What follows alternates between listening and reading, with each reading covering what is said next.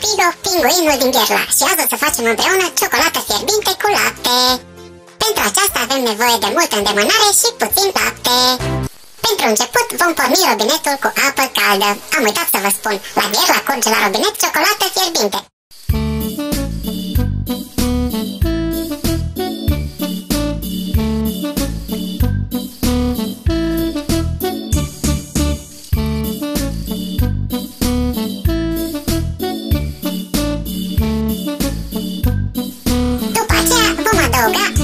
Lăpticul.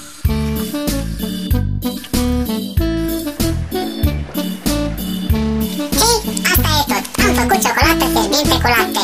nu e așa că a fost ușor? Poftă bună!